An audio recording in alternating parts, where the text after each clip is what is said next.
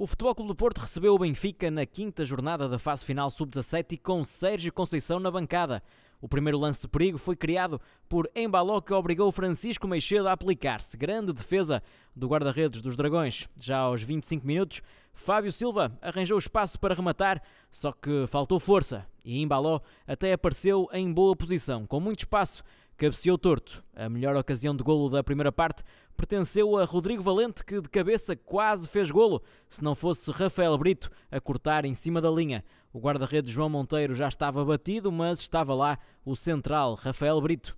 0-0 ao intervalo e a segunda parte começou praticamente com a grande penalidade a favor dos Dragões. O remate de Gonçalo Borges foi desviado pelo braço de Gonçalo Ramos e a equipa de arbitragem não teve dúvidas em assinalar o castigo máximo que Rodrigo Valente assumiu e não falhou. O capitão bateu forte e colocou o Futebol Clube do Porto a vencer. Aos 48 minutos estava feito o primeiro gol do jogo, assinado pelo capitão.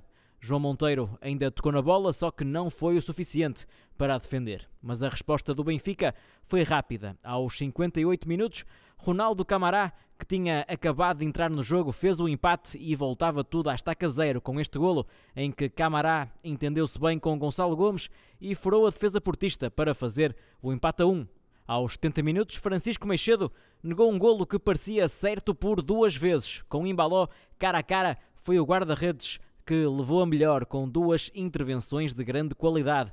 Muito mérito para Meixedo neste lance. Já em cima do apito final, o Futebol Clube do Porto teve tudo para sentenciar a partida, só que o azar bateu à porta de Moisés Conceição, que nem queria acreditar que o remate tinha saído por cima. E foi mesmo caso para dizer que quem não marca sofre, e foi o que fez o Benfica já em tempo de compensação. Cruzamento de Embaló e Tiago Gouveia estabeleceu o resultado final.